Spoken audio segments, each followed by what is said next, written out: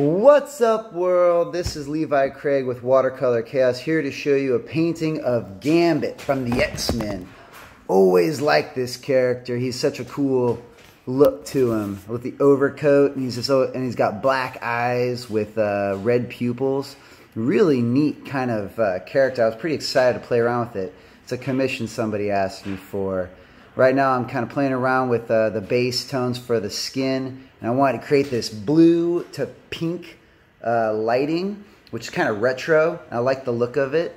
So right now I'm playing around with uh, the face, getting the kind of like the, the tones down because what with uh, watercolors you have to lay down the lights first. So I'm doing kind of like the highlights, playing around with the hair, going to lay down a light layer of purple with that red, that pink to blue, now I'm starting to play around with some of the shading in the face because the face is like the focal point of the piece. You really got to make sure that looks good.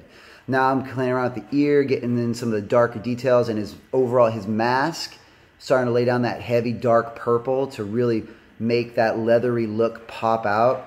I wanted that lighting to really create this cool, liquidy, leathery, uh, glazed or highlight kind of effect. Something really fun that'll, that'll really show up, show his uh, face face in a cool way because I want that high contrast with fun colors.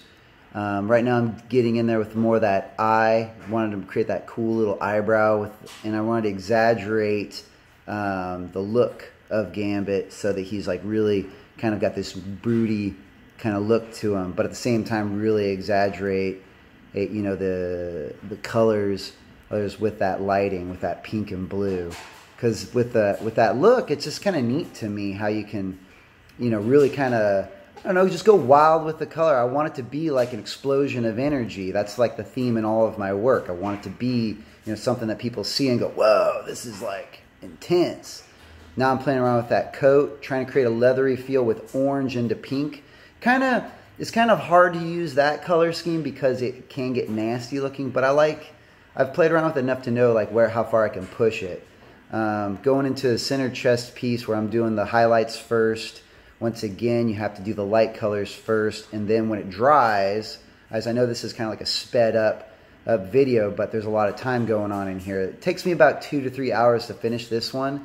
Um, so I'm letting like, you know, five minutes pass to let it dry and I'll come back to it. Um, in the video, I kind of, I stop the camera while I'm working on it and then go back at it at it. You don't really see that with the speed paint, but you get the general idea that I'm doing this in layers. Uh, I do that light first, and then I'm going over there with that heavy purple um, later while the, while it's dry. Because I that's you know you can't work wet on wet; it'll blur together. All those colors will just fo foam out or or blend out. Um, and it and it sometimes works. Like in his overcoat, oh, in the dark arc area, I used a dark blue to create a shading effect. Um, right now I'm playing around with his staff. If I wanted to uh, exaggerate that blue to white again with the purples, creating that. Now I'm playing around with the background. This was really hard for me to decide what colors to use. I wanted his his the focal point to be yellow, so I put the yellow behind his head, and I'm going into that magenta into purple, and I'm blowing it out. And then I left his hair area white, negative space. It's and I kind of blended the yellow oh, into it to kind of make it look like it all belonged. Now I'm playing around with the, the reds and purples to get that splattering effect going. I'm almost done with this, and I'm really liking how it's looking because it's you know got a really good emphasis on his face, which I think turned out really good. I really enjoyed like that blue to pink and with the dark purple as kind of like a shading for it. Kind of going in there with the final touches uh, messing around with his hair again. I wanted to create like a, a, lighting effect, so I'm going in with the line work on that deep purple, getting it in there. Got this fun little, you know, highlight going on, and uh, oh, did a little did a little reverse on the video. The video kind of went back backwards a bit, but uh, there's the finished piece, and I really like how it turned out. I hope you guys enjoyed it too. I think uh, yeah, I'm just pretty happy with that that explosion in the background, the yellow around his face with that that negative space for the highlight. If you guys got a moment, please like, share, comments. I've got Facebook and Instagram, and I hope you guys enjoy it, and I'll see you guys on the next one.